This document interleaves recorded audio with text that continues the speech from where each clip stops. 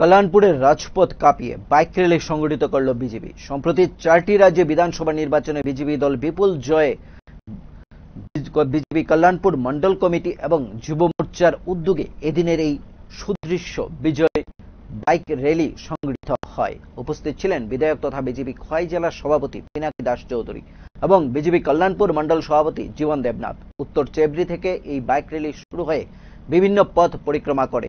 তোতাবাড়ি বাজারে এসে শেষ হয় এই বিজয় র্যালি প্রায় পঁচিশ কিলোমিটার পথ পরিক্রমা করে।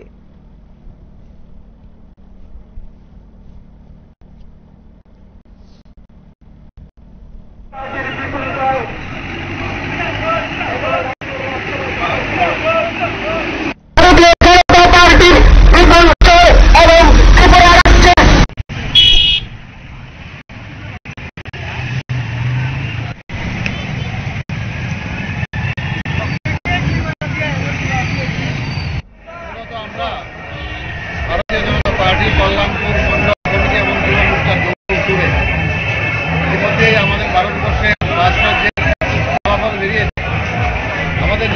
যে বিশাল দল, যে জনাদের ভারতীয় জনতা পার্টির পক্ষে সামনে রেখে আমরা আমাদের দেশের প্রধানমন্ত্রী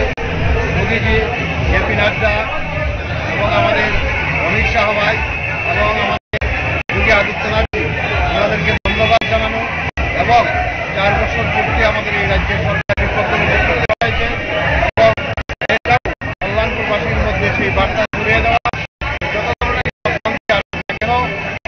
জনতা পার্টি যে মানুষের স্বার্থে, লোকের স্বার্থে, দেশের স্বার্থে কাজ করছে, সেটা আবারও প্রমাণিত হয়েছে ভারতবর্ষে এবং বিভিন্ন চক্রান্ত হয়েছে কৃষকদের নিয়ে।